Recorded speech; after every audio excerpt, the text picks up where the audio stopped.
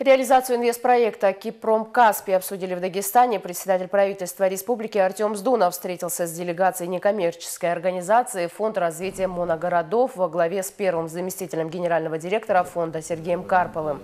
Гости ознакомились с работой двух резидентов парка. Это завод строительных материалов и завод имени Гаджиева.